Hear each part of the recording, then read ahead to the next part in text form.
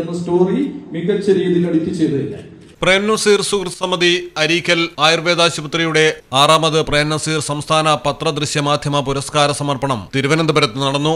Speaker A N Shamseer പുരസ്കാരങ്ങൾ വിതരണം ചെയ്തു. ഭാരത് ഭവനിൽ നടന്ന ചടങ്ങിൽ മലയാളം ടെലിവിഷനു വേണ്ടി ചീഫ് എഡിറ്റർ അബ്ദുൾ ഹക്കീം പുരസ്കാരം ഏറ്റുവാങ്ങി. സത്യസന്ധമായി വാർത്തകൾ കൊടുക്കണം. നിങ്ങളോട് ഞങ്ങൾക്ക് വലിയ ബഹുമാനമാണ് ആദരവാണ്. നിങ്ങളുടെ പണി ഏതാണ്ട് പൊതുപ്രവർത്തകരെ പോലെ തന്നെയാണ്. രാവെന്നോ പകലെന്നോ വ്യത്യാസമില്ലാതെ നിങ്ങൾ പ്രവർത്തിക്കുന്നവരാണ് തർക്കമൊന്നുമില്ല. ഏത് സംഭവം നടന്നാലും ആദ്യം ഓടിക്കുന്നവർ നിങ്ങളാണ് അപ്പൊ അതുകൊണ്ട് നിങ്ങളുടെ പ്രൊഫഷൻ ഞാൻ ബഹുമാനിക്കുന്നു ആദരിക്കുന്നു.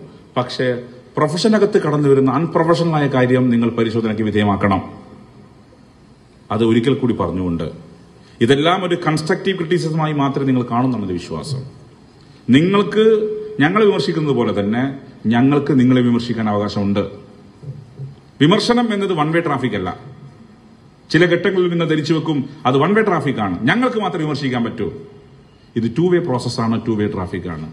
നിങ്ങൾക്ക് എന്നെ വിമർശിക്കാൻ അവകാശമുള്ളതുപോലെ തന്നെ നിങ്ങൾ വിമർശിക്കാനുള്ള അവകാശവും എനിക്കുണ്ട് എന്ന് മാത്രം പറഞ്ഞ്.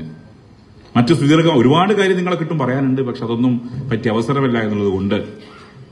ദൃശ്യ പത്രമാധ്യമ രംഗത്ത് അവാർഡ് ഏറ്റുവാങ്ങിയവർ നിങ്ങളുടെ തലയിലൊരു പൊൻതൂവലാണ്. മാധ്യമരംഗത്ത് മികവ് തെളിയിച്ച ഇരുപത്തഞ്ചോളം പ്രവർത്തകർക്ക് സ്പീക്കർ പുരസ്കാരങ്ങൾ നൽകി.